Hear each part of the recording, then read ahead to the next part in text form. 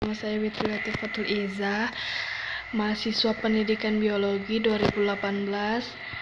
Di sini saya menggunakan media audiovisual yaitu Screen-O-Matic. Saya menjelaskan tentang pengertian ekosistem, komponen, macam-macam, dan contoh ekosistem. Ekosistem adalah suatu sistem ekologi yang terbentuk karena adanya hubungan timbal balik yang tak terpisahkan karena makhluk hidup dengan lingkungan fisik dan sekitarnya. Dengan kata lain, pengertian ekosistem adalah suatu kesatuan yang utuh dari lingkungan dan hi makhluk hidup yang saling mempengaruhi. Pada suatu e ekosistem, setiap makhluk hidup dan komunitas berkembang secara bersamaan dengan lingkungan fisik sebagai suatu sistem.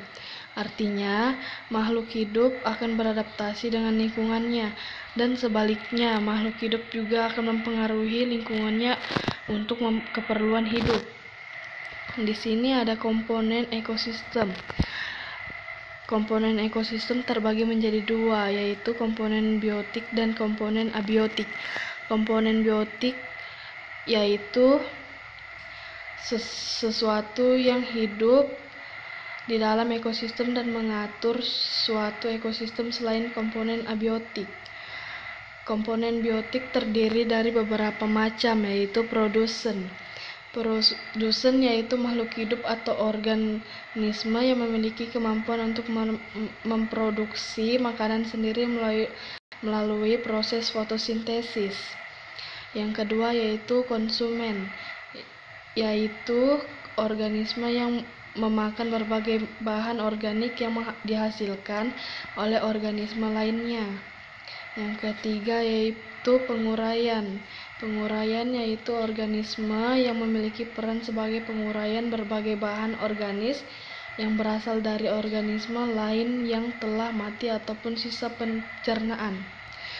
Yang terakhir yaitu penghancuran. Penghancuran yaitu organisme yang dapat menghancurkan bahan-bahan organik yang berasal dari sisa-sisa organisme lainnya yang telah mati. Yang kedua yaitu komponen abiotik. Komponen abiotik adalah komponen fisik dan kimia yang berperan sebagai medium atau substrat tempat berlangsungnya kehidupan organisme. Komponen abiotik ini terdiri dari senyawa organik, anon, anon-organik, dan berbagai faktor yang mempengaruhi distribusi organisme, seperti suhu, yaitu suatu proses biologis mempengaruhi suhu tubuh organisme. Yang kedua yaitu air, komponen kimia yang, yang dibutuhkan setiap organisme untuk bertahan hidup. Yang ketiga garam, yaitu komponen kimia yang dapat mempengaruhi kesetimbangan air dalam organisme melalui proses osmosis sehingga dapat beradaptasi dengan lingkungannya. Yang keempat yaitu cahaya matahari.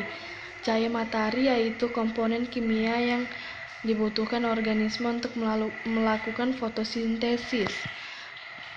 Ya, yang selanjutnya yaitu tanah dan batu.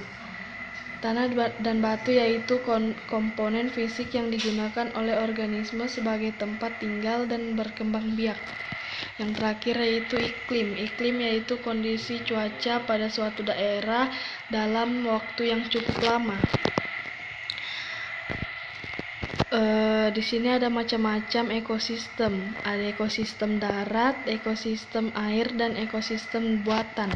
Ekosistem darat adalah suatu ekosistem yang lingkungannya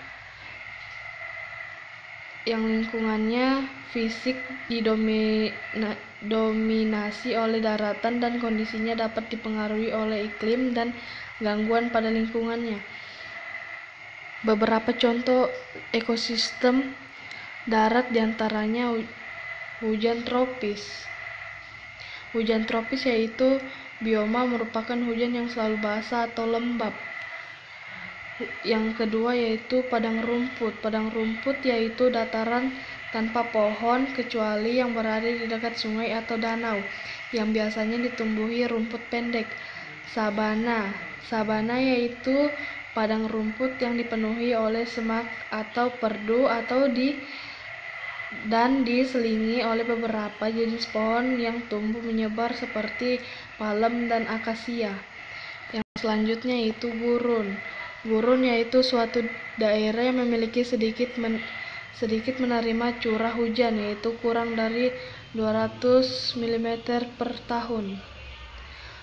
Yang selanjutnya yaitu hutan gugur.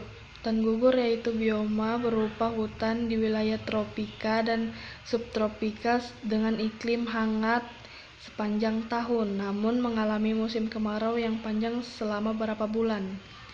Selanjutnya yaitu taiga. Taiga yaitu hutan yang tersusun atas suatu atas satu spesies seperti conifer, pinus, dan sejenisnya. Yang selanjutnya yaitu tundra. Tundra yaitu bioma tempat di mana pertumbuhan pohon terhambat dan suhu lingkungan sekitarnya rendah. Daerah ini sering juga disebut daerah tanpa pohon. Yang selanjutnya yaitu kars atau batu gamping gua, yaitu bentuk permukaan bumi yang terbentuk dari pelarutan batuan dan biasanya dicirikan dengan adanya depresi tertutup drainase permukaan dan gua. Selanjutnya yaitu ada ekosistem air. Ekosistem air adalah suatu ekosistem yang komponen abiotiknya didominasi oleh perairan. Beberapa contoh ekosistem di antaranya yaitu ekosistem air tawar. Ekosistem air tawar yaitu ekosistem yang memiliki kadar garam yang rendah, misalnya danau, sungai, dan rawa. Selanjutnya itu ekosistem air laut. Ekosistem air yang dapat di perairan laut di mana kadar di mana kadar garamnya tinggi terdiri atas ekosistem perairan dalam ekosistem pantai pasir dangkal atau bitarol dan ekosistem pasang surut ekosistem es Estuari yaitu ekosistem perairan semi tertutup yang memiliki badan air dengan hubungan terbuka antara perairan laut dan air tawar yang dibawa oleh sungai. Yang selanjutnya yaitu ekosistem terumbu karang, yaitu ekosistem bawah laut yang terdiri dari sekelompok binatang karang yang membentuk struktur kal kalsium karbonat atau semacam kap ka batu kapur.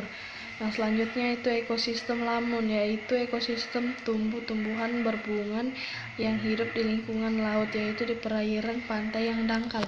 Selanjutnya itu ekosistem buatan. Ekosistem buatan adalah suatu ekosistem yang terbentuk dari hasil campur tangan manusia untuk keperluan tertentu. Beberapa contoh ekosistem buatan di antaranya bendungan, sawah irigasi, sawah irigasi, sawah tada hujan, perkebunan kelapa sawit, hujan tanaman reprodu, hujan hutan tanaman reproduksi, eko dan terakhir ekosistem ruang angkasa. Demikian yang saya sampaikan. Assalamualaikum warahmatullahi wabarakatuh.